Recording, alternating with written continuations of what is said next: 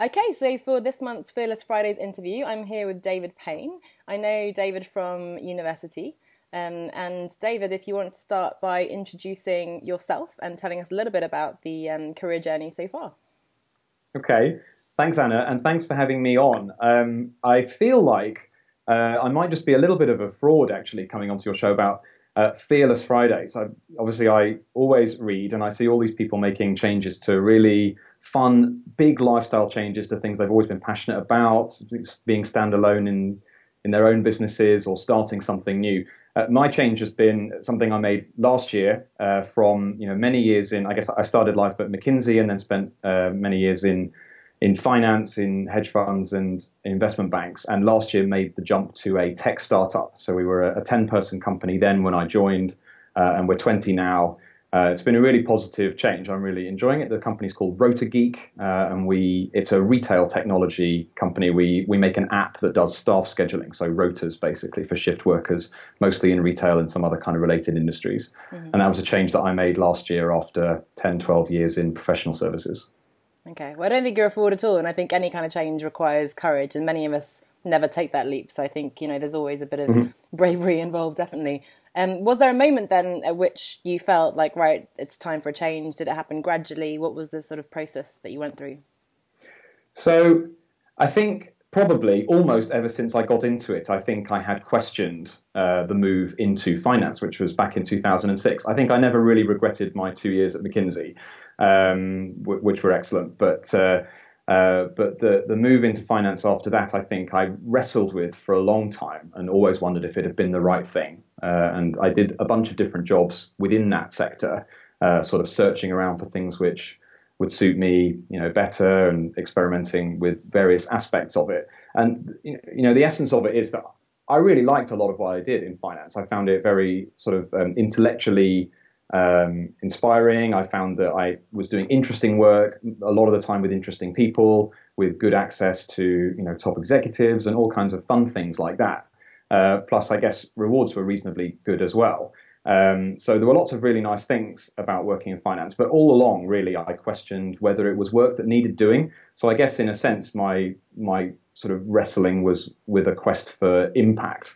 Uh, and I guess I fundamentally felt, even when I was enjoying myself doing finance work, that you know it, it didn't really advance, um, you know, the, sort of the wheel of mankind. And really, mm. this was most of what you know uh, investment funds and investment banks are doing is really just kind of trading the wealth around between um, yeah between sort of wealthy clients and institutions, and it doesn't really impact the the real economy in any major way. And of course, as a professional services person, your direct impact, you know, your ability to have an idea about what a business should be doing instead of just predicting what probably will happen.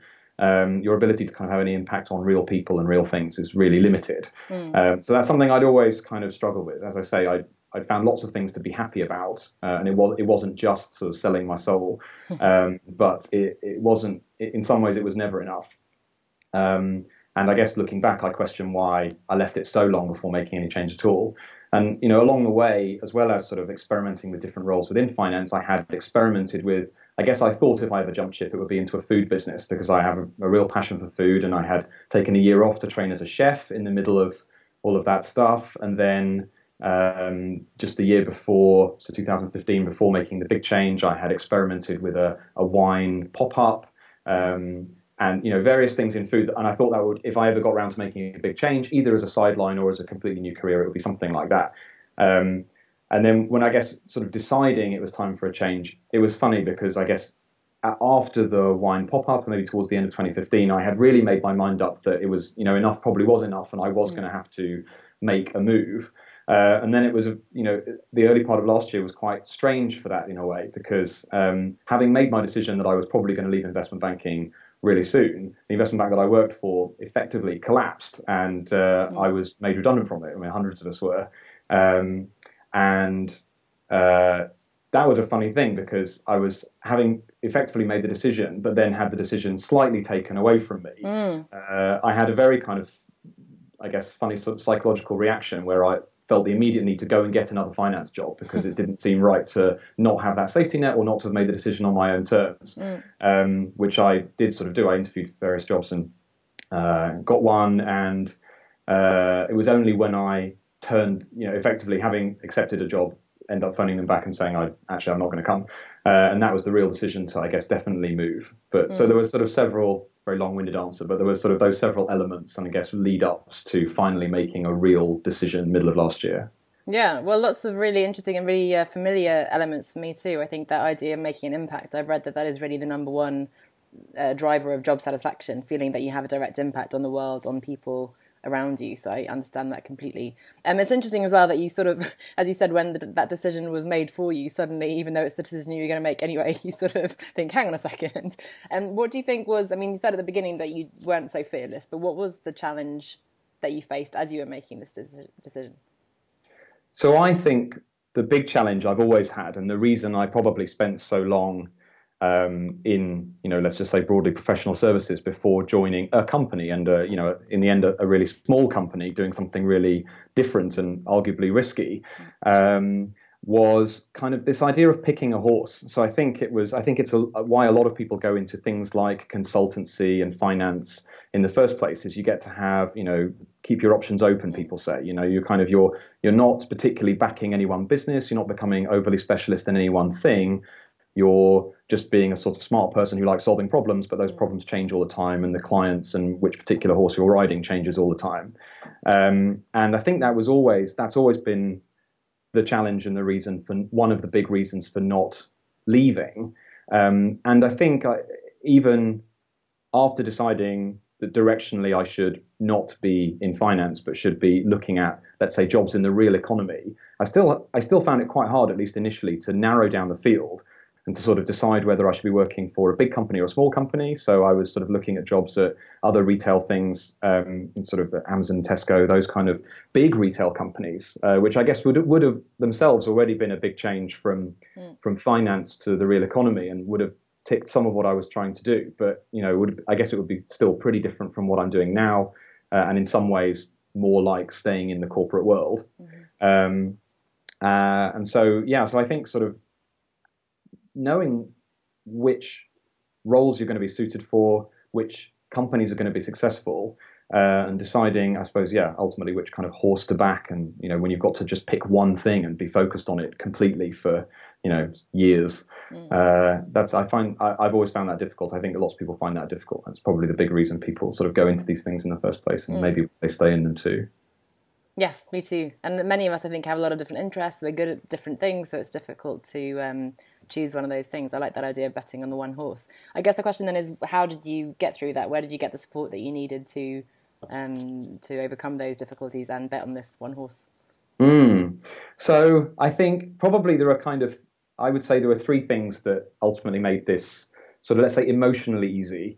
Um, one was that um, friends were just very supportive and positive. You know, you never quite know. I think with despite all these other things I've already said, there is obviously an element of kind of rewards and status that go into trying mm. to pick what your career should be if you're going to define in any way by what your career is. And I think I had a sort of legacy perception, um, or maybe just a little bit of one, that um, you know doing a sort of credible banking kind of job was a was a respectable thing. But it's I think in a way when when you start to tell people i am not doing that and I'm looking at this, people are way more excited in than this mm. because it has a some kind of like real content that people can really engage with. Particularly, well, maybe if I tell you a bit more about RotaGeek in a minute, but uh, you know, it's a really interesting problem that we're trying to solve here, and I think people genuinely find it interesting hearing about it. And you know, I guess there's a sort of funny kind of status or uh, at least of kind of just interest value, you know, bringing something something to the party that comes from that. Um, so people are very positive, and I think among my friendship group, I've also got some really good role models mm-hmm. um, of people who've um, been really successful and got just a lot of pleasure out of doing slightly quirkier, more interesting, mm. small business or new technology kind of things. Um, so that was really helpful.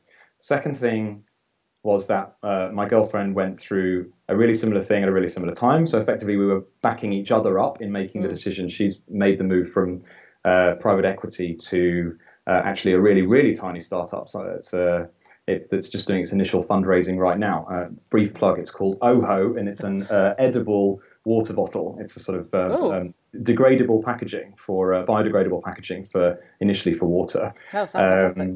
Uh, maybe you should have her on your show. Uh, Absolutely, in, I'll, I'll, book her in for in next month. month. Yeah. um, but they, yeah, so she was. I mean, that's what she's ended up uh, going into. But that whole process of sort of getting out of um, you know, professional services and finance into just something more interesting. And I guess hers is really changing the world. Mm. Um, uh, so we were there for each other going through that, which mm. was also great. And I guess the third thing, and I don't know if this really belongs in the category of support, but it definitely was the thing that made the decision easy, was stumbling across, and I guess I can't give myself any more credit than saying that's how it happened, stumbling across this specific opportunity. I'm not sure I would have been happy in just any startup. I don't think it was small company or technology that I was looking for narrowly or specifically, or that it was definitely just the right fit for me. But this particular team and this particular problem, I just found really, really compelling. I think mm. it's a really big commercial opportunity and a really fun thing to be working on.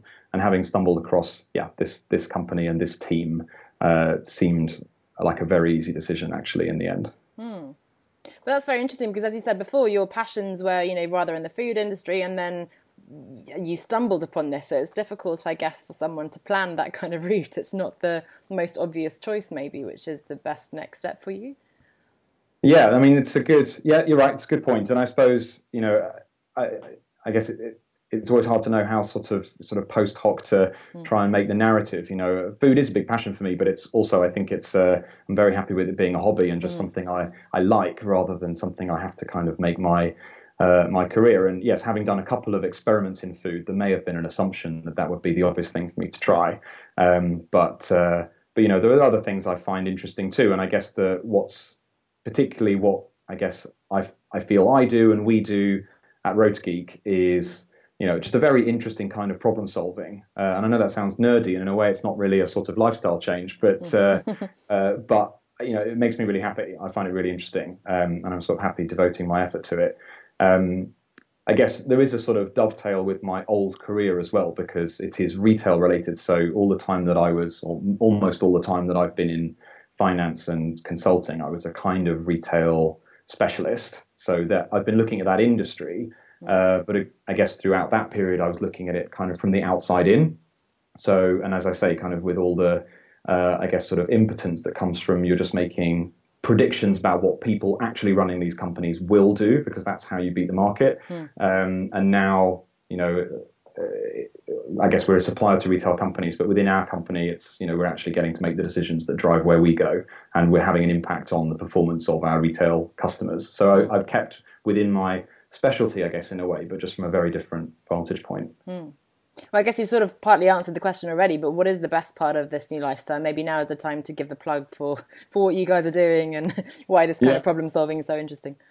Ah, you're right, and it's um, yeah, it, and the it's in some ways it's lifestyle. I mean, I guess it depends how you use the word, but it's I probably haven't changed my lifestyle very much at all. You know, I still, you know, and I, again, to sort of to compare to some of the people that you've interviewed on this um, on this blog before who've gone and done you know very outdoorsy things or very mm. creative things or moved from you know from working as part of a team to being completely standalone and you know quite big changes in their lifestyle kind of literally where they are for how many hours a day and this mm-hmm, kind of thing in that sense it's still i'm still doing an office job um, uh, and I'm still working, I mean, probably harder actually, if anything, mm. than than before. But I'm much happier doing it because of that sort of feeling of problems we're solving actually matter um, you know, my role within this machine is, uh, you know, a bit bigger. I have a bit more um, opportunity to, uh, you know, I guess put myself in the minds of my customers and try and work out what it is we can do for them uh, and immediately impact them and hopefully make life easier for their for the staff working in their shops uh, and that kind of thing. So it's the nature of the problems we're solving. Uh, scheduling, I guess, you know, it's um, it's quite a I guess it's quite a logic puzzle. You know, so there's a lot of it which is kind of like uh, elements of the decisions people make when they're doing these things manually. You know, people make schedules on pencil and paper, and they decide to put certain people in for certain days and certain times. And then when they're deciding when to let someone take their holiday, or they're deciding uh, how you should sort of send this information off to payroll. People make a lot of different decisions, little decisions about how they want to run their shop and how things have to be uh, recorded and all this kind of thing. And you, it sounds like it's going to be easy. And as soon as you get into the detail of what goes into kind of making a good schedule and not sort of using the heuristics that people use to save themselves time when the machine's doing it, you don't have to anymore.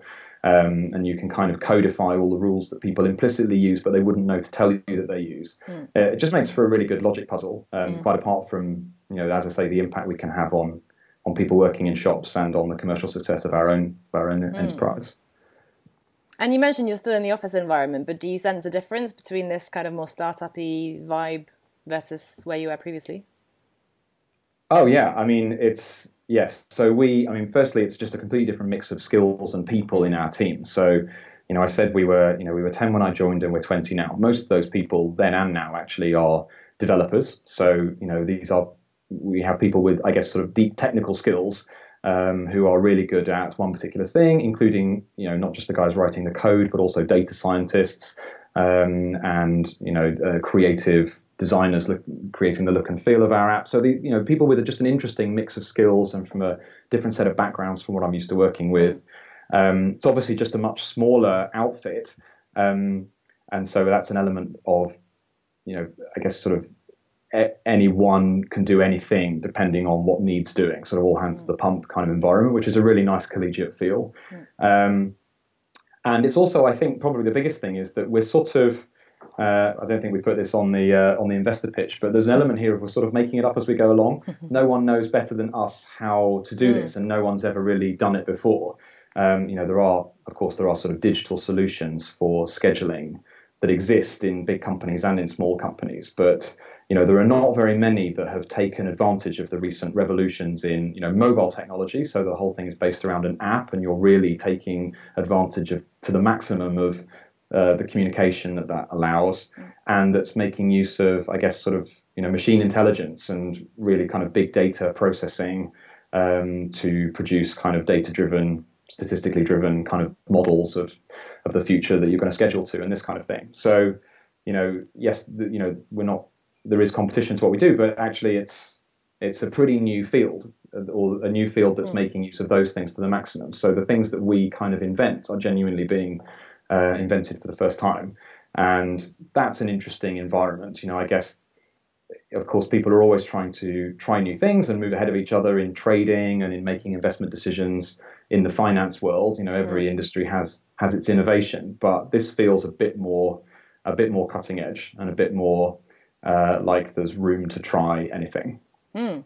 Well, it sounds exciting. It's also inspirational to see how happy you are about it and passionate about it, which is really the end goal for many of us, right? So that's nice of you to say. Yeah, no, I, I, I genuinely feel really great about the uh, about transition, and um, yeah, I know it probably probably sounds a bit nerdy to be getting so excited about the jigsaw puzzle of good scheduling, but, uh, but that's it. That doesn't matter, does it? It's an individual choice, and it's it's about finding the fit for you. So yeah, no, it's been a really good move. Mm. And uh, as I say, kind of, you know, I started earlier by saying, you know, I'd questioned for a long time uh, whether it made sense to be in financial services.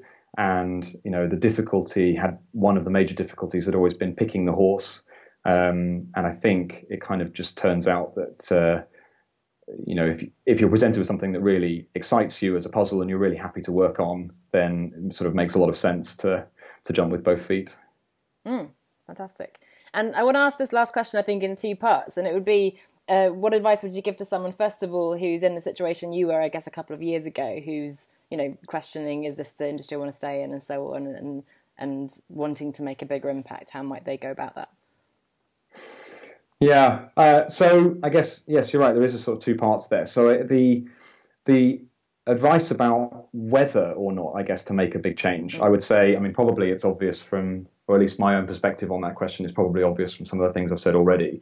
But uh, I, I think maybe the important thing, particularly for people of, let's say, sort of my generation, people who left university in the sort of early to mid 2000s, um, and you know, really, I remember that you know when we were at university, the careers fair only had you know consulting yes, law and banking exactly. and everything mm. else including going into um, big corporates like the one that you went into mm. actually even that was considered an alternative career mm. joining a small company or something with an unproven technology was literally an insane career mm-hmm. and i think there was a sort of you know cultural or at least a received wisdom that you know th- those sorts of things might be exciting and you might make your fortune and it might be brilliant, but probably it wouldn't. Mm. Um, and you know that trade-off was was very clear. And I think in a way that's just been proven wrong. Um, and the world sort of changed. It changed quite quickly, I think, after that. And now, as I said already, kind of like you know the examples I have among other people of our generation who made that change earlier. Generally, you know, even the things that went wrong didn't go very wrong, um, and everything sorted itself out just fine. Uh, because you benefit from the experience, even if you don't immediately find the thing that's going to make you happy or that's going to uh, reward you highly straight away. Um, so I think that's probably the main thing, just to sort of to stop, to, to make sure one isn't just embracing that kind of legacy logic, which isn't true anymore. That these kind of professional services are keeping your options open and it's playing it safe, and it's the it's definitely the better half of the trade-off. I think that's just sort of the evidence is that that isn't right. Mm-hmm. Um, and to you know, I guess to anybody who is in professional services who doesn't positively and absolutely love it and mm. genuinely enjoy being defined by it, uh, it's probably worth looking at other things. There's a lot of interesting stuff going on out there. Um, the how is, I guess, a much, in a way, harder question. And I already said I feel quite lucky. Mm. Uh, I actually had given myself mentally a year uh, to make the transition from banking to something good in the real economy. As I said, be that big company or small company, because I didn't know, you know, I didn't know what I was suited to, and I didn't really know what was out there. So I wanted to take a lot of time over that decision. Um, and uh, in the end, as I say, I kind of stumbled across this because I found that my network, and I know I don't normally use the word network. I sort of think it has a slight, you know, sort of uh, mercenary feel to it. But just you know, being being able to reach out to people, including people I was not that close to, but I knew might know some of the things I wanted answers to, uh, and just say, can I borrow you for an hour uh, to tell me about things, or do you know anyone else I should talk to? Um, and people were very giving, and people were really helpful. And I think, you know, I guess uh, maybe this is sort of obvious. It didn't feel immediately obvious to me, but it worked out really well. Was just to kind of to yeah reach out to all of those people because they they don't mind being asked and they probably do know, or they can certainly get you started. Mm. And I think that is obvious. And as you say, I think networking feels quite icky to most of us. And I think at the end of the day, it's just talking to people, and most people are really happy to help. And I found that too. That my broader network, actually, people I didn't know so well, have been incredibly supportive and, and inspirational as well. So that's a key part. I guess it, just to pick up on one thing that you said in terms of the world has changed, do you think then that students graduating now are in a different position? Do their career fairs now have exciting startups and, you know, mm. a, a sort of stall for, hey, you can start your own business, you can travel the world, you can sit with your laptop on a beach in Thailand? Do you think it's ah, changed? That's a really good question. I mean, what I don't know is what happens at those career fairs. Mm. I do know that, um, you know, in the investment bank I was in until last year, definitely the sort of the kinds of people that were applying for graduate jobs had changed a lot. Mm. And basically, people from our university broadly were not applying for graduate jobs at, at my investment bank and probably not at many others. Mm. So I think in that sense, people had moved on and found, you know, those other things to do, or at least a different mix of things to do on leaving university. On what they should do, I guess in a way, yes, the answer probably is the same. If you know, if, these kind of interesting companies like RotaGeek and, and like Ooho and, and all these other things are um, you know, just have a bit. There's a bit better sort of uh, early stage investment infrastructure around these things now. It's a bit easier to, you know, the, the mix of people going into them is from much broader range of backgrounds. You know, it's a much easier choice in some ways. So I'm sure lots of them are and should uh, make that kind of transition, or you know, do make that move instead. Mm. I think. I mean, not to go too sort of wacky on your show, but uh, I think there's a part of me that thinks we should all kind of be making career decisions slightly differently now, kind of in light of you know the way that the world of work is probably going to evolve quite significantly within our you know what we would have called natural career spans. You know, the next 30 years, um, to the point where to some degree. You know, humans are not going to be doing nearly so much of the work, and mm. including lots of what today is considered kind of cerebral and creative work. Mm. You know, sort of machine intelligence is going to take over a very great deal of this. And I think in that sense, planning a career around wanting to climb, climb, climb for the next 30 Absolutely. years in whatever field, you know, be that a corporate field or something a bit more, um, a bit more creative or a bit smaller or a bit more innovative, whatever it may be. You know, I think all of these things have to be considered in the context of a world of work that probably isn't going to be quite the same shape in terms of seniority, progression, and retirement that our that our parents was. Um, I don't know if that leads us more towards uh, you know, corporate work or risky work. But I think it, I think what it does mean is you have to be doing work that you enjoy doing mm. rather than work for a particular purpose. Um, because the sort of the yeah the role that kind of remuneration in particular is going to play is going to you know, in, in a sense, those equations are not going to look quite like probably some people imagine them and like they mm. played out for our parents. Mm. But that is interesting. I mean, in terms of not to ask you if you regret it, I suppose, but rather if someone is t- choosing between, let's say, McKinsey and something a bit more wacky. I mean, McKinsey and that kind of um, career, at least a few years in consulting, obviously is an amazing way to invest in your career capital. And I'd never recommend to someone to do something just for their CV, but clearly for you as well, it has then, I think, opened up the doors of the things that you've done later on. So I wonder, you know, is it necessarily the wrong choice to do that, or is it just that you you make that choice then, but just make sure that you keep your eyes open and make different choices maybe in a few years' time? That is quite a good challenge. You're right, because maybe I've contradicted myself. Um, but uh, so you're right. I suppose, I guess there's a lot to be said for.